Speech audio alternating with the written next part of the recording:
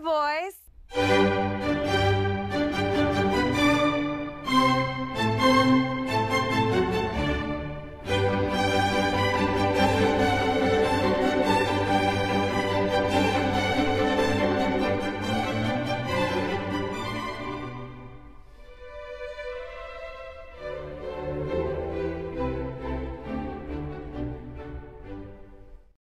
Welcome, welcome. With the Suicide Squad coming out soon, I figured let's check out the first adaptation.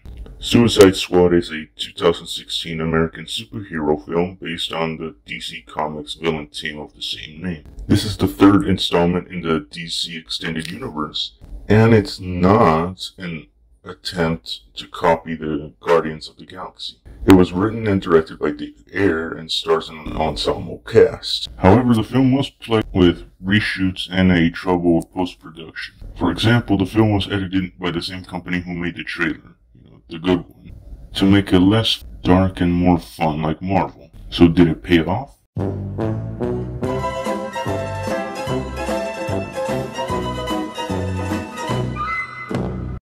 So let's check out this shit show.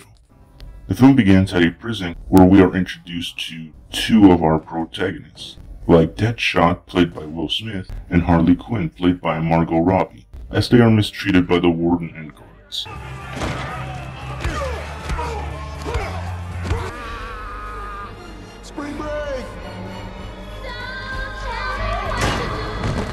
Well, this doesn't violate any human rights laws. Anyways, we are then introduced to Intelligence Officer Amanda Waller, played by Viola Davis, who convinces two U.S. government officials, one of whom is played by David Harbour, to greenlight Task Force X, a response team of criminals and supervillains as an answer after the aftermath of Superman's death.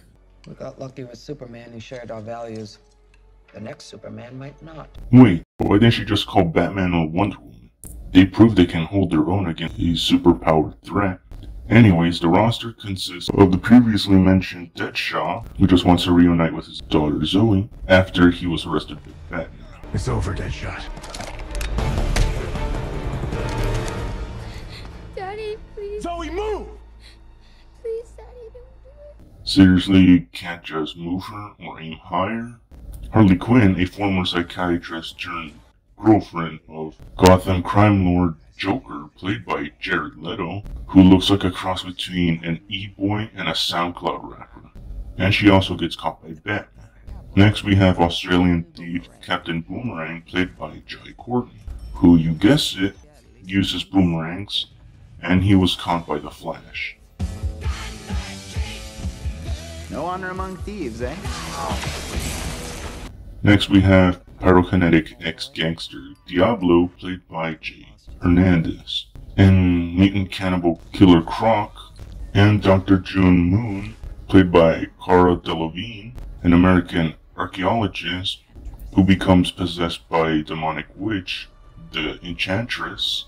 Waller can control the Enchantress by seizing her magical heart. Waller's subordinate, Colonel Rick Flag, played by Joel Kinnaman, is in love with Moon and is the leader of Task Force X. Flag and Waller later go to the prison to see their new subordinates. Y'all gonna pay for my daughter's whole education. Ivy League, yeah, one of them big joints. And uh, if she can't cut it and her grades start slipping, I need you white people that thing. Mm-hmm. You know how y'all do. Oh, yeah. You all right?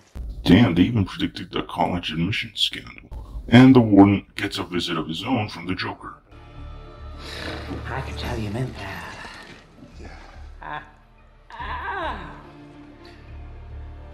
my friend. I can't tell if he's trying to threaten him or fuck him. Moving on, the Enchantress betrays Waller, conquering Midway City, transforming humans into monsters, and summoning her brother Incubus to destroy humanity. Task Force X is formed to stop Enchantress, and we get an additional member, Slipknot, played by Adam Beach. Hmm, I wonder why he didn't have an intro like the others. Anyways, Rick Flag shows up and tells the team their situation and to suit up.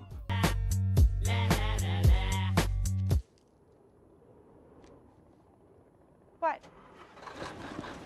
Uh, they're just picturing you in your Wolf of Wall Street scene. and they are later joined by Flag's associate Katana, played by Karen Fukuhara, who's a Japanese swordswoman. And well, Flag will say the rest. I would advise not getting killed by her.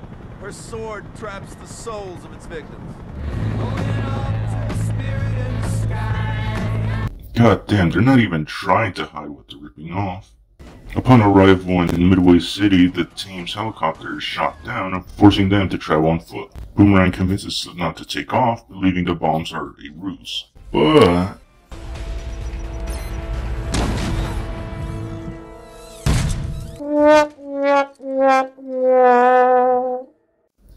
so that's why he didn't get his own intro. After several firefights and scaling a skyscraper, the team discover Walness is their mark, trying to cover up her involvement in Enchantress Revolt. As Waller and the squad await their helicopter extraction, the Joker intervenes, disables Harley's bomb, and helps her escape. Waller shoots down the Joker's helicopter, though Harley survives and rejoins the squad, believing her pudding is dead. Enchantress and kidnaps Waller to gain her heart. Deadshot finds Waller's confidential files, discovering Flag's relationship with Moon. The team abandon Flag and wait, why is Katana going with them? Then they share drinks at an abandoned bar where Diablo reveals his powers and criminal lifestyle, which led to deaths of his family. Flag later joins the squad. You Get to the part in that binder saying I was sleeping with her. Yeah, I never been with a witch before. What's that like? Hey, you're lucky Waller didn't have your sex tape. Flag relieves them of their mission. Your daughter writes you every day. Wait, why do you have his letters? Was it just to motivate him? Now with them realizing they have the opportunity to prove themselves, the group set out to save the city. Again, for what reason?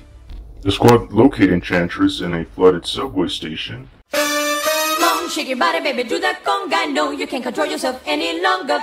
She then invites the squad to join her, and she will make their wishes come true. Apparently, Deadshot's dream is to kill Batman and not to reunite with his daughter. Harley's dream is to marry Joker and start a family. And am I the only one weirded out by seeing Jared Leto being normal? Also, both Diablo and Flag seem to be immune to her persuasion, and they start fighting, while Killer Croc and Flag's platoon of Navy SEALs plant the bomb underneath the subway. Diablo embraces the demonic nature of his pyrokinesis.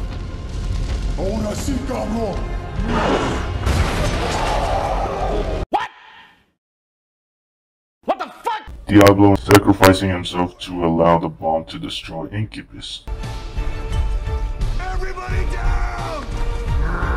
Get the chingaste away. What the fuck? Enchantress again invites the squad to join her, and Harley appears to tempt, but uses it as a ruse to cut out the Enchantress' heart. Her heart's out. We can end this.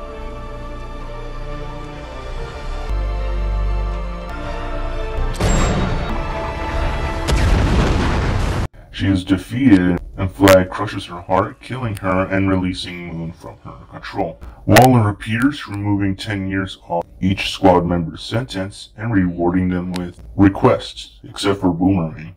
Anyways, the Joker, who appears to be alive, what a shocker, breaks into the prison and rescues Harley. In the mid-credit scene, Waller meets with Bruce Wayne, who agrees to aid her reputation in exchange for government files on the growing metahuman community in order to build his own superhero team. She advises him to stop working late nights, and he tells her to shut down Task Force X. And that was Suicide Squad. The film was a box office hit, but it received negative reviews from critics, like criticizing its plot, direction, and characters, and yet praised by some fans claiming it's the best of the DCEU.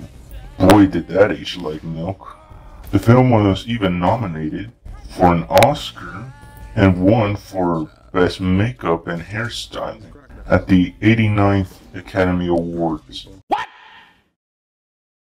What the fuck? Making it the first film in DCEU to win an Academy Award.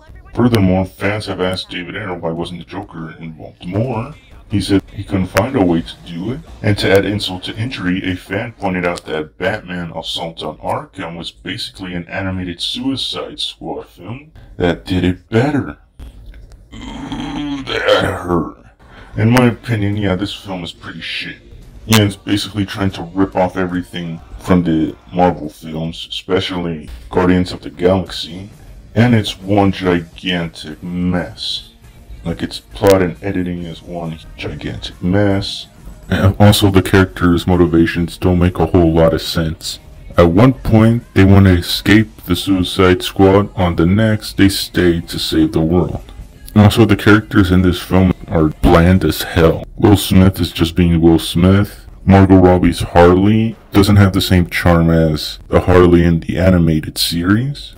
Also, Diablo's motivation doesn't make any sense whatsoever. He claims that he doesn't want to lose another family during his sacrifice, even though we are shown very little of it on screen. Also, the film tries way too hard to make us care about these characters for no reason whatsoever. Also, its use of music is just horrible. The first half seems like a music video until the mid-city scene.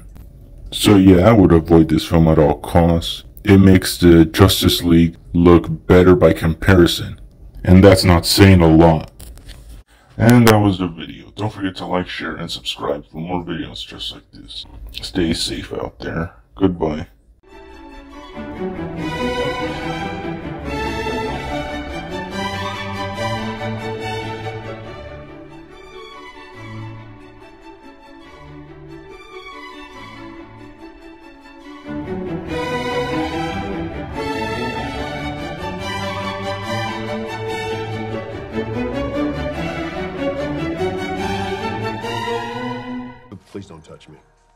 Please don't touch me.